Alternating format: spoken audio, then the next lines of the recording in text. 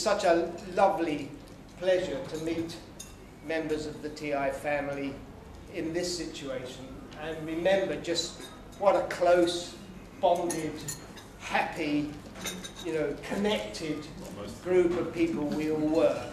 And the only reason I stood up tonight is that I believe we should stand up, charge our glasses, and give a vote of thanks to Bill Proudfoot.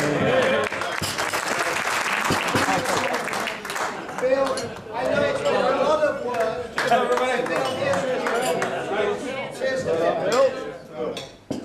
Thank you, Bill. Thank you, by the way. Thank you, Bill. Bill.